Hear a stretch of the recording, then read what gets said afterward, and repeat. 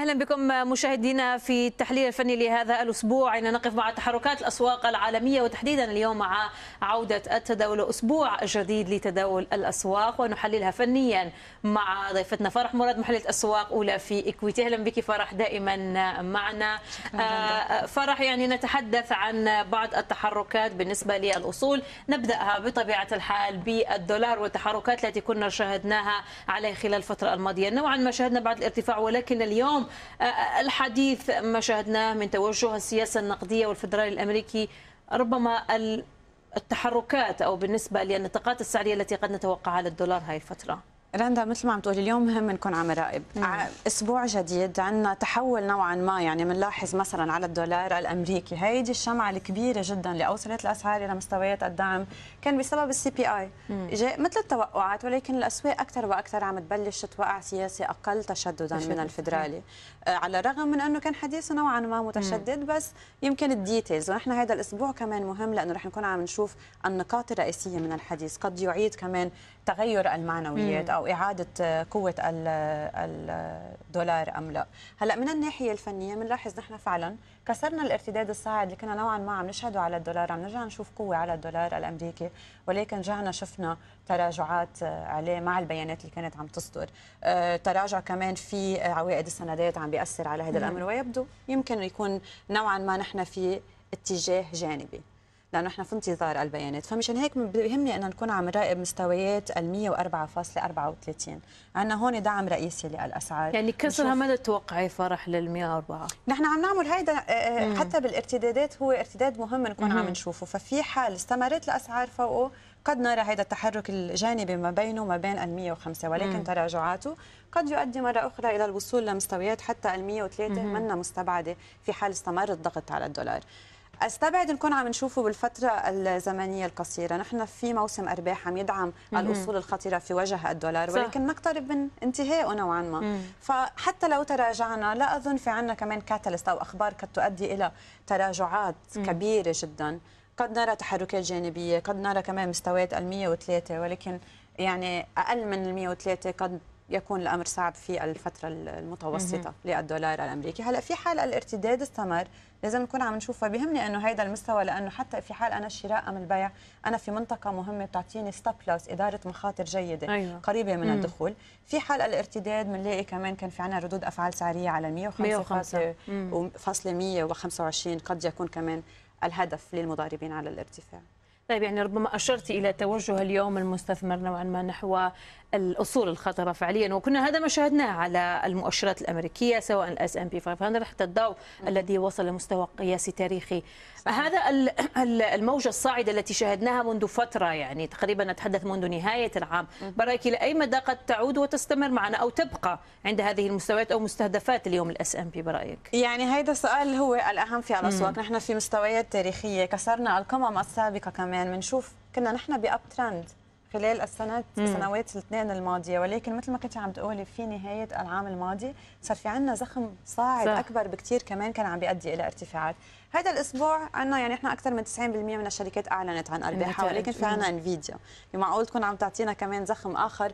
قد يؤدي إلى استمرار الارتفاعات خصوصي كمان لازم نتذكر نحن في مكان البيانات السلبية تدعم الأصول الخطيرة. لانها كمان عم بتكون عم تضغط على الدولار الأمريكي. في حال استمرار هذا الأمر نحن في اب ترند كسرنا يمكن هذه الموجة يمكن المومنتوم المرتفع. أعدنا اختبار الحد الأعلى لقناه صاعدة صارت تحولت إلى دعم.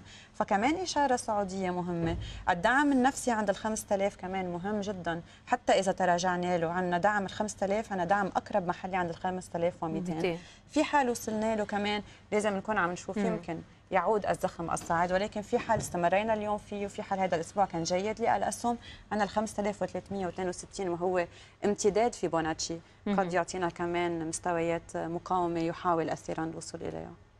طيب على مستوى أصول أخرى يعني كنا شاهدنا البيتكوين التي نوعا ما كانت بعض التحركات عليها متقلبة لأن بعد أن وصلنا عدنا مستوى 72 ألف عدنا نتراجع ولكن برأيك الآن المستهدفات التي نشأتها وتحديدا هذا التحديد القناة الهابطة التي عادت من جديد يعني من بين هذه المستويات مثل ما كنا نتحدث عن 200 أو 72 بعدين عدنا وشاهدنا هذه القناة. يعني على أي أساس تم التحديد يعني فرح؟ أو يعني ماذا نتوقع كذلك توجهات البيتكوين هلا هو بالفعل أظن هيدي يمكن الترند الهبوطي أظن من الناحية الفنية لا يزال يعتبر تصحيح. للموجة المومنتوم المرتفع الكبير مم. اللي كنا عم نشهده اللي اوصل الأسعار إلى القمم. وإشارة إيجابية أخرى إنه يمكن نحن فعلا تخلصنا من هذا الاتجاه الهبوطي إنه كسرنا من الناحية الفنية الحد الأعلى للقناة الهابطة. حتى ما عملنا له retesting عادة ما تحاول مم. المستويات المهمة من مقاومات ودعم إعادة اختبارها من الأسواق ولكن لا بالفعل نحن رجعنا توجهنا إلى نوع من الاتجاه الجانبي نوع من مستويات ال 65 و 350 تقريبا صار هو الدعم للتحركات في الوقت الحالي. أرى كمان إذا بتلاحظي المستويات اللي عم نتداول عندها حاليا مهمة جدا. لأنه okay بنشوف في تحركات سعرية عميقة عندها. بنشوف إنه كانت مستويات هيدي المستويات المرتفعة ما كنا شاهدينها يعني تقريبا من الشهر الماضي كمان. فهيدي مستويات مهمة نكون عم نشوف كيف مم. عم نتحرك حواليها اليوم. وهون مشان هيك بيهمني هذا الأسبوع عم نبدأ في أماكن حتى لو نحن معنا بانتظار البيانات ولكن إن كنا عم نشتري أو عم نبيع نحن في مكان ال stop loss قد يكون قريب جدا ومشان هيك قد تكون إدارة المخاطر جيدة لنكون عم ندخل في الوقت الحالي هلأ في حال استمرت المشاعر الإيجابية في حال في حال ضلينا عم نعمل آه، اختبار لمستويات ال 67 150 مم. تقريبا واستمرينا في التداول فوقها معناتها قد يعني إنه الزخم الصاعد قوي ومستويات السبعين ألف قد تكون تعود. هي الأهداف مم. القادمة للمضاربين على الارتفاع ولكن التراجعات طبعا نظن بنشوف إنه كان في عندنا نوع من الارتداد كمان عندنا ال simple moving average على ال 65 كمان و350 قد يدعم كمان الأسعار في حال التراجعات. طيب الذهب بطبيعة الحال الفترة الماضية يعني فرح كنا شاهدناه وكان يعني هذه المستويات وعدنا لنتحدث عن مستويات تاريخية 2400 ولكن اليوم وبعد التحركات التي كنا تحدثنا عن الدولار نوعا ما الذهب حاول الاستفادة منها بعد آه، آه، التراجعات. برأيك ال 2400 إلى أي مدى نستهدف اليوم مستويات جديدة بالنسبة للذهب هاي الفترة؟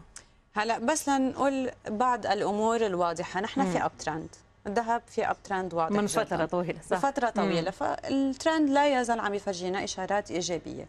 ولكن كمان بعض المؤشرات مثل ال RSI كمان كان عم يفرجينا نوع من ال overbought يعني عندنا نحن آه، ذروة في الشراء. قد يؤدي إلى تراجعات ولكن لازم نتذكر مع بداية الأسبوع الأخبار اللي عم تجي من الشرق الأوسط قد تدعم كمان الأصول والملاذات الآمنة خصوصي إذا من الناحية الفنية بنلاحظ إنه الاتجاه الصاعد الحد الأعلى تم كسره فهذا زخم إضافي إشارة مم. إضافية قوية للمشتري. ورجعنا عم نختبر مستويات الحد الأعلى كنوع من الدعم. فنحن فعلا في اب ترند واضح في حال استمرار الارتفاعات. نظن كمان مستويات ال 2470 أو أقل منها شوي. 67 قد يكون الهدف القادم للمضاربين على الارتفاع ولكن لازم نشوف كيف الأسعار رح تتداول عند الحد الأعلى. في حال استمرت التداولات فوقه في حال ما قدرنا نرجع نكسر تحت ولو كسرناه نحن بعدنا بأب ترند على فكرة. صح.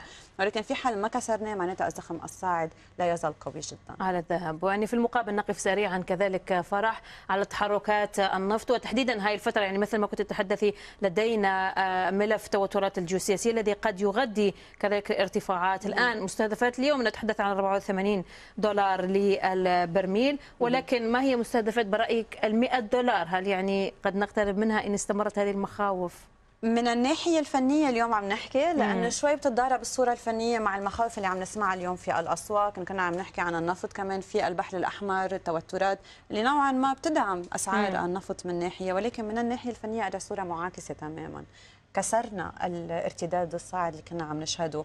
مم. الحد الأعلى يمكن أو الأدنى للقناة الصاعدة حاولنا اختباره كذا مرة وما قدرنا نرجع فوقه. لا نزال okay ارتفعت الأسعار عم نحكي عن 84.3 ولكننا لا نزال نتداول بشكل جانبي ضئيل عند هذه المستويات. صورة كمان فنية أخرى بنلاقي تشكل pattern آه، نموذج الرأس آه، رأس والكتفين. وهذا عادة ما يبشر في استمرار الاتجاه الهبوطي. الأمر الإيجابي نحن عند مستويات مقاومة رئيسية. معناتها نحن حتى لو كنا عم نراهن على التراجعات فال stop قد يكون قريب جدا. في حال فعلا هيدي الصورة الفنية كانت آه، يعني مستمرة واستمرينا في الاتجاه الهبوطي نرى نوع من الدعم. في عنا طبعا محلي عند 83 و 80.5 ولكن هيدا ال pattern إذا عم نشوفه وشو عادة بنشوف هيدا المستوى وبنرجع عم نعمل له على قده لنكون عم نشوف وين ال target تبعنا بيوصلنا لعند ال 77.5 هيدا في حال عم نحكي نحن من الناحية الفنية طبعا ولكن لازم ناخذ بعين الاعتبار. كيف عم تتحرك الأسعار عند هيدا ال neckline يعني الخط العنق المهم جدا لنشوف كيف الأسعار عم تتداول. وكمان طبعا الأساسيات في الأسواق. أكيد وربما هذا ما سوف نراقبه الفترة المقبلة فرح عن التطورات في الأسواق وتحركاتها وأثرها على هذه الأصول. دائما نشكر تواجدك معنا فرح مراد وأنت محللة أسواق أولى في إيكويتي شكرا جزيلا شكرا. لك ومشاهدينا بهذا نأتي إلى نهاية فقرة التحليل الفني لهذا الأسبوع. وكالعادة نذكركم بأن CNBC عربية ليست مسؤولة عن أي ربح أو خسارة وهذه مجرد تحليلات لتحركات السوق.